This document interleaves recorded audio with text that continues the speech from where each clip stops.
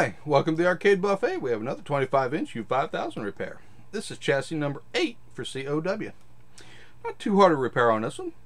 Put VR 521 in, good reflow, cap kit, horizontal output transistor, and U701. Fired it up, and it looks fantastic. All controls work as they should. Everything's been adjusted to this tube, so it'll have to be readjusted when it gets back home. I'll let it run through its bursting in test period and get it ready to ship out.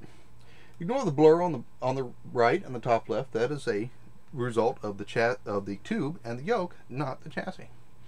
But as you can see, it looks fantastic.